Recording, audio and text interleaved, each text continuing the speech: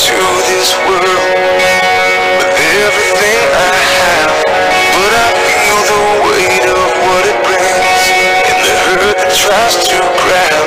Many trials that seem to never end. That we will enter in this rest with wonders anew.